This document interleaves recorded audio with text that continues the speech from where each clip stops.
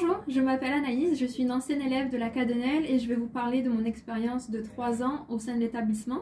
Après mon bac STMG, j'avais envie d'approfondir mes compétences en commerce et donner une envergure internationale à ma carrière.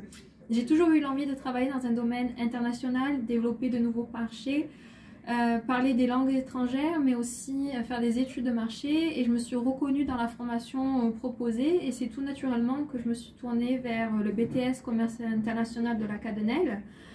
tant bien pour la qualité de l'établissement, le cadre, le, cadre de vie, mais aussi pour la structure à taille humaine, c'est-à-dire que les étudiants sont bien encadrés par l'équipe pédagogique.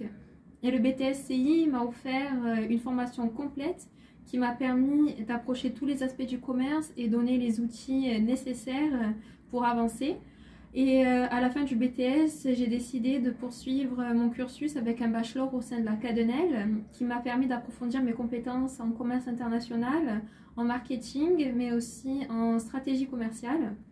J'ai par la suite intégré un master en stratégie internationale, puis à ce jour j'ai fini mes études, j'habite à Stockholm et je travaille pour une start-up suédoise qui s'appelle StoryKit. Et StoryKit est un logiciel de montage de vidéos. Et je suis en charge du développement commercial sur les marchés euh, francophones. Et je ne pouvais pas espérer mieux que de commencer ma carrière avec de telles responsabilités. Donc ben, j'espère euh, vous avoir un peu inspiré et je vous souhaite une très belle réussite à la Cadenelle.